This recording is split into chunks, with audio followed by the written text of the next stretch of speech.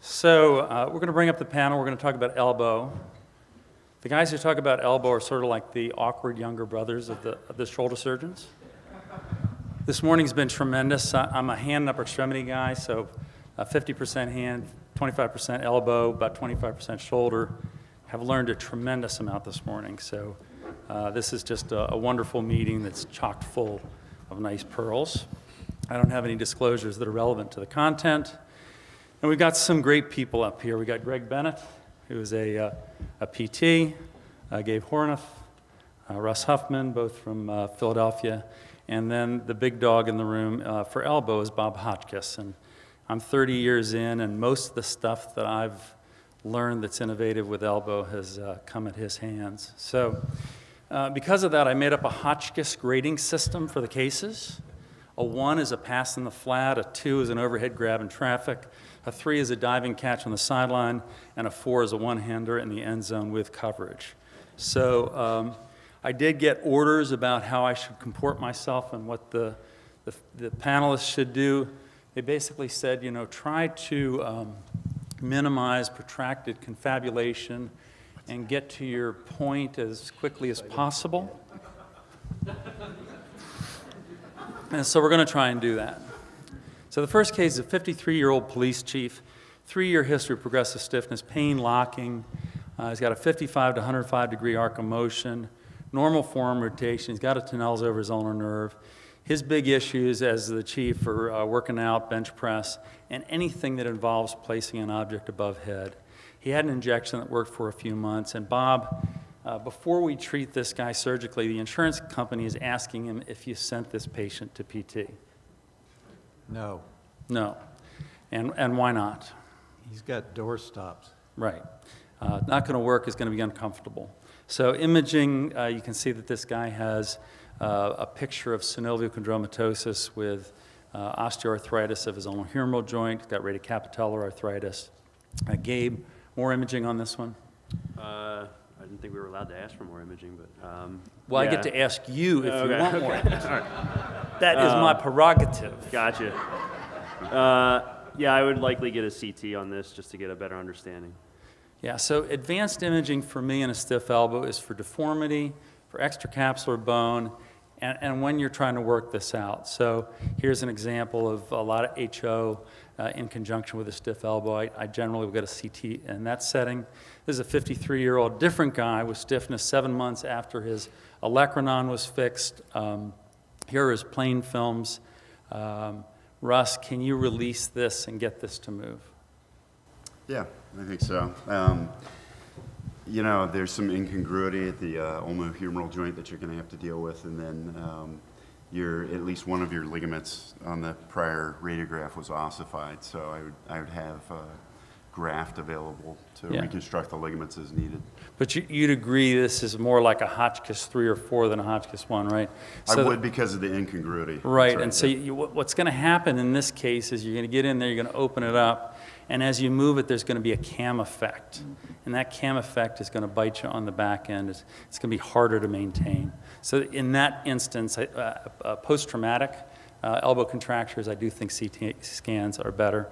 But uh, in general, even in some of the simpler cases, if you're starting to do these either open or arthroscopically, I do think that they give you guidance. So you can see here, um, there's normally a nice little sulcus behind the capitellum that the radial head seats itself into. And in this particular case, there's uh, heterotopic bone back there that you're going to need to clear. And then you can see the Mickey Mouse ears uh, that are coming off the tip of the olecranon and the bone in the olecranon fossa. So I do think it can be helpful. There's five different approaches for this. And let me just ask you guys uh, down the line, Russ, your, your preferred approach for this, not the olecranon fracture, but the first case, the police chief.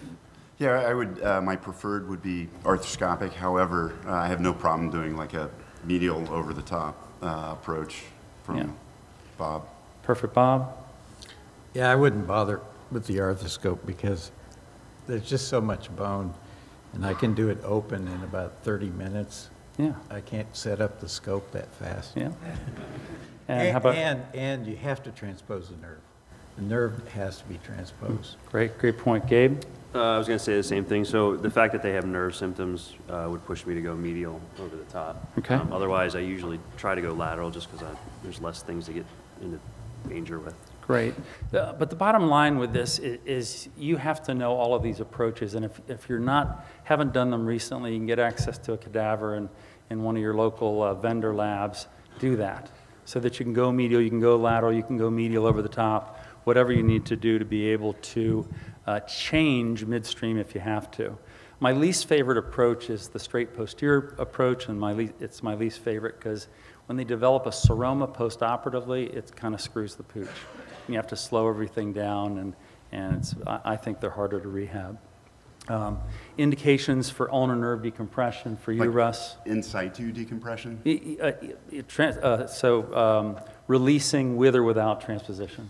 So, post-traumatic elbows, uh, or where there may be some adhesions in the floor of the cubital tunnel and, and a lack of ulnar nerve excursion, uh, means that I'm going to move the nerve out. And, and uh, when I was with Sean uh, Driscoll, uh, we looked at a series of his patients, and there, there is some delayed onset ulnar neuropathy in some of these patients who are asymptomatic preoperatively.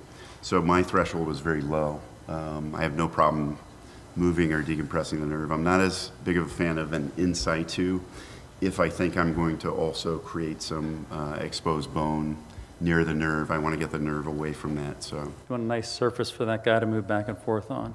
And so we're not allowed to quote articles, but this is a, a study that Dean Sotereanos and I did. Most of his patients were open, most of mine were arthroscopic. It was a pretty good series. And basically, what we saw is that if you had no symptoms pre op and you started with less than 100 degrees of elbow flexion, there's a 15% chance that you're going to have subsequent symptoms that would require surgery. And so for me, that's the cutoff, 100 or less. Um, so extension contractures, the other thing when we're trying to get flexion back uh, is uh, releasing that posteromedial bundle. And so I did this arthroscopically. I do in a lateral position, start with the nerve because he had symptoms, uh, lateral approach first. Uh, This is the view that we get. You can see all these uh, loose bodies from a synovial chondromatosis. Uh, Go pretty quickly to a switching stick, get a direct medial portal, um, and from that medial portal, uh, get yourself an anterolateral retractor portal, and then uh, shave without suction. This is another Sean O'Driscoll move that I love in, in a tight elbow. Uh, so what he does is he puts in a uh, your trocar and peels up that anterolateral capsule, and that's a real blow for freedom when it comes to your view. It Lets your retractor do a much better job. Lots of stuff in the elbow. Take soft tissues off the osteophytes. Burr. And then another little pearl that I think is helpful for me um, is to use the electric cautery only when uh, you can see to put it directly up against bone, but it can be very helpful. And then another little por- uh, pearl is I like taking off the tip of the coronoid with an osteotome. I think it just speeds things along. Leave yourself a little hinge, obviously, so you can grab it and it, it doesn't become a floater. Uh, you, some people believe capsulotomies are safer from medial to lateral. I usually still go uh, lateral to medial. Posterior portals, clear the fossa, inspect the gutter, and then release that posteromedial bundle. And I'm doing that in conjunction with the ulnar nerve, but I'm just sort of showing you what those fibers look like and how they can restrict flexion. So Gabe, we can't get full extension. We think it's the result of a, a shortened uh, brachialis. This is an issue probably more in the post-traumatics where we're, you know, we're, we're still at, at 40 or 50 degrees after doing our soft tissue release. Is there any role for myotomy? You, you wrote about this in uh, spastic hemiplegia, but how about in, uh, in these cases? Yeah, I mean, I think you can almost do sort of like a pie crust thing. I wouldn't want to take it all down completely, but try to get some, some length out of it. Yeah. I think it's because you did it arthroscopically. Yeah, actually, it was perfect. You'll see. No, Uh, Bob, I just want to make the point. but 'cause but the uh, elbow we're going to get to it. swollen. But here we are. Here we are. No, the elbow gets swollen from the, and people don't know what to do. That, you Actually, do. it doesn't, Bob. Yeah. You keep your pressures low, and at the end of, I, I can do one of these myself in about an hour. I usually take a fellow through it. It takes about an hour, 45 minutes. At the end of that, the, the elbow's not swollen if you keep your pressures low. But everything else you say is right. So you already answered this question. I love showing these videos, but ultimately, doesn't matter if you do any of these cases open or arthroscopically. Look, I do, I scope a lot of elbows, and, and if, if you just get rid of the doorstop, it, it's just so much easier, just osteotome done, see the ulnar nerve, go up to the front, done. And, and what I find, I, I redo a lot of contracture releases that people attempted. This room, you're exempt from this comment. Um, But there are a lot of people who try it and they don't know how to do them open. To your point, you need to know how to do them open before you do them in the scope because that's your fallback. So I just want you to see what's happening here now. I'm about to be attacked on both flanks by a New Yorker, right? I'm from Pittsburgh. We don't know how to rumble the way these guys do. No attack. Actually, Yeah. I want to learn from you guys. So I struggle arthroscopically figuring out where the osteophyte ends and the native bone begins. So especially posteriorly on the ulna, where the olecranon flare of the Mickey Mouse ears turns into the regular olecranon. So what pearls do you guys have to help us figure that out via the scope? Yeah, so the bottom line is that uh, you- the, the capsule is pretty easy to take down, and then you're at triceps. So you very quickly clear that little bit of stuff that's right on the top of the olecranon and go to that point. And uh, you don't have to make a hole in the olecranon in general.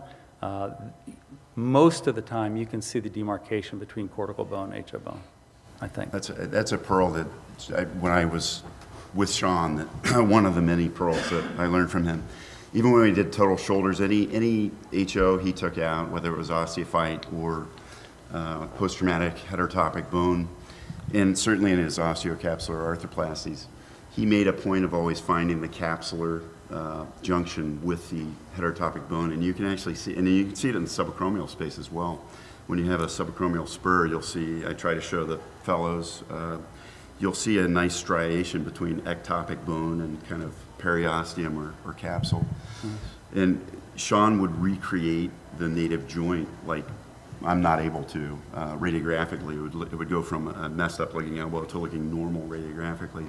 And he followed that principle, and I've, I've done that, not to his skill level, but, but uh, it's, it's worth maybe talk, grabbing him at a meeting or something and having him show you one of his videos of doing that. But Yeah. um, it's like a, a road you can follow. So Russ, you still got the mic. Anything else with these guys, post-operatively, steroids, Botox? No, I think it's important, what, what we've started doing, and it's because our anesthesia is really good at our outpatient surgery center, is we do an indwelling uh, catheter. I get them to therapy. They go from the fifth floor to the second floor and start therapy the same day. Get 'em right on And it. part of it's a psychological thing, because then they see that they have motion they haven't had in years, and, and I think it emboldens them to kind of keep pushing. That's huge, isn't it, in the recovery room, to sit down there with the family, they can take a video if they want. Greg, I'm sending you this guy a little bit later, at day five.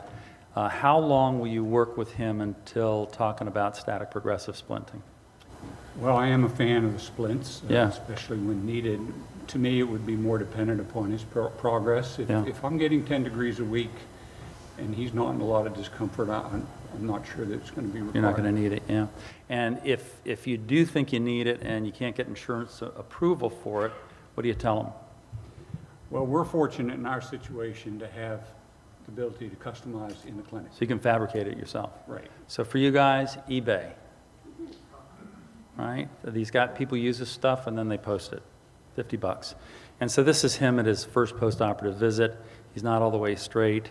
He's got good flexion though, he's got good form rotation. Uh, And so the take-home with the, these simple contractures, is that there's lots of approaches, be prepared to do something other than what you planned. So we're going to go to a Hotchkiss 2, a 70-year-old distal biceps repair on a non-dominant arm. Uh, developed a large firm mass in the proximal forearm. The doctor took care of him, said, this is normal, it'll, it'll uh, melt away over time. A year later, this is, uh, are his images. Uh, he's referred to me at that point. He's got discomfort. He's got a decrease in elbow flexion depending on pronation and decreased form rotation. There's the lump. Here's his supination and pronation.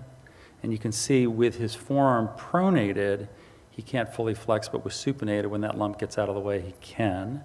This is his MRI that he came in with. This is his CT that I got. Bob, does HO, this was through an anterior approach, I sort of showed you that, it was the, a tendon dunked in the bone with a uh, button on the backside. Uh, Does HO after two incision look different? No, it, it happens with both approaches. Yeah, but, but do, you- have you seen the posterolateral bone form with the two incision as opposed to the anterior stack? Um, Again, I've seen it both ways, and that actually happens a lot. Yeah, it does. And, and sometimes it wipes out the radial nerve as it grows. Interesting, I've not seen that. Uh, Gabe, your surgical approach for this one, he had an anterior approach before, you're going to go back through that anterior approach? Yeah, I, I mean, his bone is pretty prominent right there. I don't see a reason to try to take some circuitous route to get there. Yeah. I would make sure I'd try to find the lateral brachiocutaneous first and foremost, and just have that wrapped in a vessel loop. Yeah. And then uh, start going at it. Yeah, and then uh, Russ, uh, you take all this down and uh, your biceps is flapping in the breeze. Is this something in general that you're going to uh, repair in flexion, or are you going to graft it? Uh, graft 100% of the time. Yeah. And so I, I think it's, uh, I think there, there are, are times when it's possible that you might not have to graft it, but not having it in the room is bad on you, and, and you don't want to be in that situation. Um, and so this was uh, the dissection, went through an anterior approach. There's that stack of bone, and surprisingly, the biceps was still on. I, I was not expecting that from the MR. I guess I didn't have fine enough cuts to be able to, to see it going down to bone. Was able to get it out pretty easily. Uh, Gabe, do you use Indocin after uh, primary biceps repairs? I do. I put them on um, sustained release for about 10 days uh, Yeah. afterwards. Um, in this case, I might consider doing a low dose radiation before taking them back, just to hedge my bets. Yeah, Um, so the Indocin does seem to uh, be beneficial. Ruby Grewal did a nice paper on that. And then, so I I did the same thing. Um, Actually, just so you guys know, uh, Indocin SR is relatively expensive. Uh, Indocin 25 TID is almost free. Um, And so if someone has a crappy insurance plan, as we have in Pittsburgh, it's a nice little thing. Um, So he's got improved motion, his pain's gone, these are his postoperative radiographs. I left a little bit behind, but uh, nice rotation now, and nice flexion even in pronation. And amazingly, uh, his extension improved a lot, which I wasn't expecting. And Mark Cohen looked up a series of patients that he had done as primary repairs versus instances where he, he took out bone, did single dose radiation and indomethacin, and both cohorts were excellent. So we're going to go to Hotchkiss 3, 51 year old with uh, dry rheumatoid arthritis. So she's sort of burned out, had been on meds uh, for a, a number of years, and then it uh, kind of cooked itself out. I did a synovectomy with a radial head resection on her, and this I'm now part of the Radial Head Preservation Society. Uh, particularly in rheumatoids, you do not want to take out the head uh, because they will collapse in valgus and they'll trash their medial ulnar humeral joint, as I'll show you. But she's hurting a lot. She's been through a non-operative treatment. This is kind of what I did to her. I don't know if the um, if I can get a pointer going on this, but uh, if you look at her medial ulnar humeral joint, it is worse than her lateral ulnar humeral joint, and that's because I took out her radial head. And in a person with inflammatory arthritis, there's going to be attenuation of the, that medial capsule along with the MCL. So this, uh, I- I feel badly about this. But that, that was what we did in the 90s, um, was an accepted treatment. So I did uh, look in this arthroscopically. She had uh, essentially no bone in her ulnar humeral joint. And so for the team, this woman's 51. We'll just run down the list real quickly. Interpositional arthroplasty for you, Gabe. Probably arthroplasty. Arthroplasty, Bob. Uh, Because she's not beyond the Larsen 3, in the, you have to discuss this. If you do an implant, you've crossed the Rubicon. If it fails, it's a mess. So I've done about 20 interpositions over the last 20 years, so it's one a year. Yeah. So the, for the right patient, they've, they've lasted. I haven't converted any to totals. Yeah, and a, and a little bit better results in the rheumatoids, right? Much better. Uh, yeah, And so even it's Bernie thing. reported it unknowingly. Yeah, yeah. So, for you, Russ? Yeah, I think uh, I would have a discussion with the patient. I, I'm, I may not be as great at interpositions. I mean, I've, I've had some success, but not, it's not consistent for me. Yeah. So, um, so I would definitely let the patient know that. I think if I was going to do an arthroplasty, I'd probably use the implant that Bob's developed, which is cementless and unconstrained. Yeah. So, And so uh, you answered my question. Great. Anybody do a Hemi in this setting? Yeah, not a, not a, probably not a good idea in, a, in a rheumatoid in general, and overall the results have been kind of crappy. If interposition frame or no frame, Bob? You, you, you taught me that I, I watched you do this in 1990 and was in awe of you putting Yeah. that frame on so quickly. You and- know, but how about now? I, I'm not sure the distraction matter. I, I, by the way, I can't figure out why these patients do well Yeah. anyway. So I, I want to make that, uh, you know, position clear. Um, So, and I do think the DMARDs have had a big influence because I think that's what led to the rapid destructions of the joint. So Yeah. with that caveat. So um, I now use a frame that's a little simpler if they're unstable, but I've also done them without a frame if, and I keep the lateral side intact and I keep the medial side intact.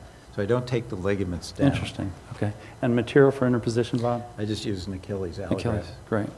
And so in, in uh, this particular person, she'd had a transposition of her ulnar nerve. I actually, uh, this is an arthroscopically assisted technique that I'm going to show you. It's a little bit of a techno fest, but I actually think it, it uh, can work out nicely.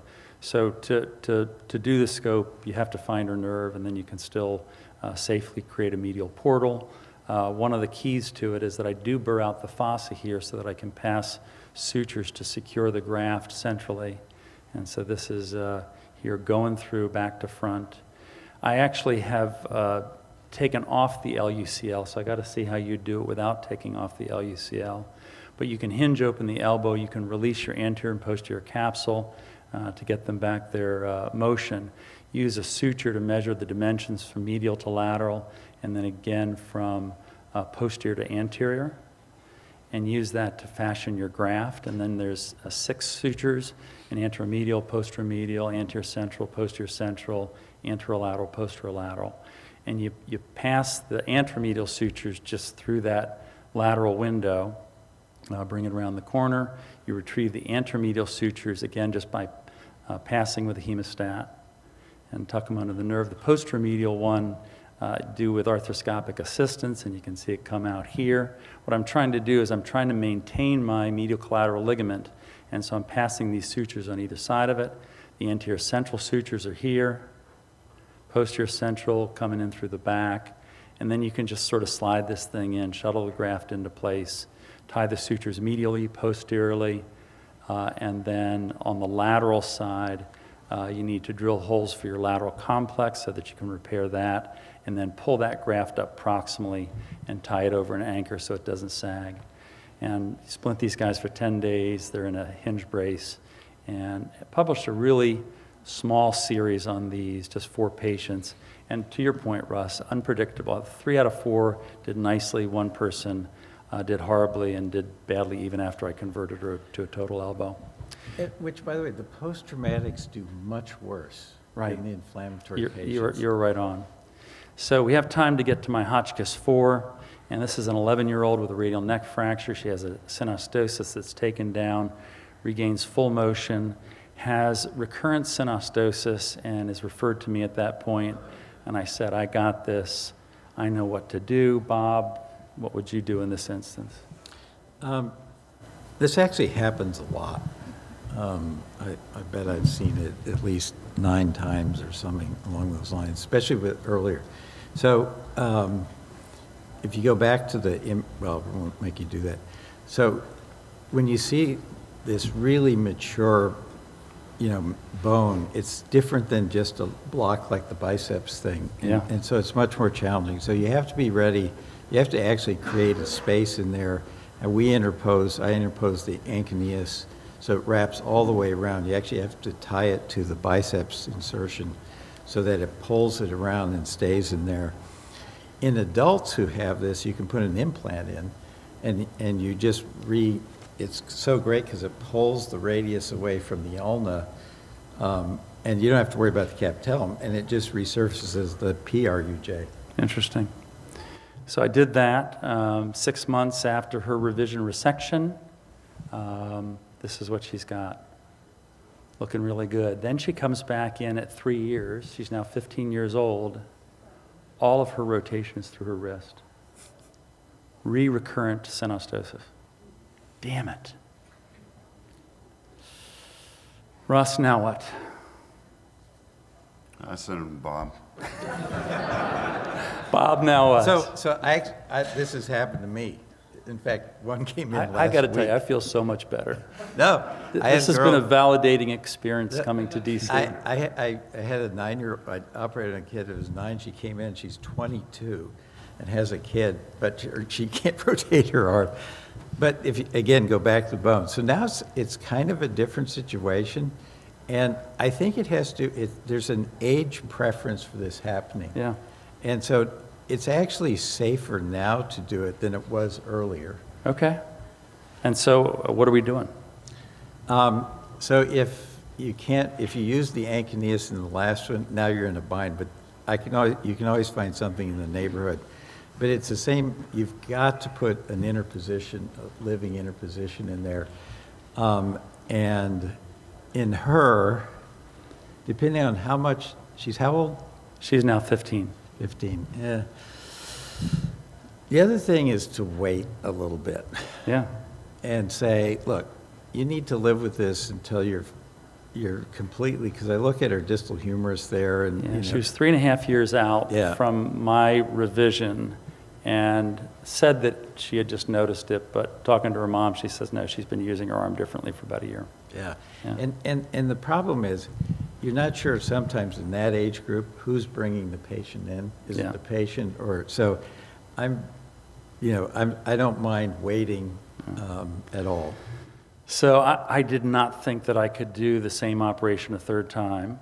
And so what I did is an operation that uh, Bernie Morrey described. I called him and talked to him and about seven other friends of mine who are, uh, who do a lot of this stuff. I, I may have called you, Bob. I don't know if, if I did or not. But basically, uh, went back in. What I wanted to do is I wanted to do a resection, a proximal basically Sauvé-Kapandji procedure, but I wanted to preserve her biceps insertion. And you can't see the tuberosity through a lateral approach uh, with her synostosis. So I made a cut, then I could rotate the arm uh, enough that I could see the tuberosity. And then here's, uh, here's her synostosis. I left that alone. And then took out as much bone as I could, preserving the tuberosity so that she maintained her biceps insertion. And I gave her a little partial PIN palsy. Uh, her, she and her mom gave me permission to show you her image. I recommended radiation. Uh, the radiation oncologist gave her more than I recommended. Um, I'm just going to bounce through this because we're out of time. But she rocked this. All right? Looking awesome. Until 18 months later, her wrist hurts. I, I don't know how this happens. No, It's because it's more proximal. Yeah. So, well, I I actually, I, I- should have been distal to the insertion, but I was not happy. So I'm, uh, we're out of time, so I'm just going to show you that I did do an ulnar shortening osteotomy. I did an IOM reconstruction, for better or for worse. Got her back to neutral. She's now at six months. She doesn't have any pain for now. Did you make her wear that shirt for the picture? I didn't. That's awesome, though, right? Stranger Things. Yeah. So this is this has been truly confession for me. Thank you. If you have something and you want to throw it, Brad, you can throw it. But in the, in the last couple seconds, take home CT if you're not sure. Get comfortable with all five approaches to the elbow. Indocin helps. XRT for revisions, and have a solid relationship with a PT. Thank you, Bob. Thanks, Greg, Gabe, and Russ.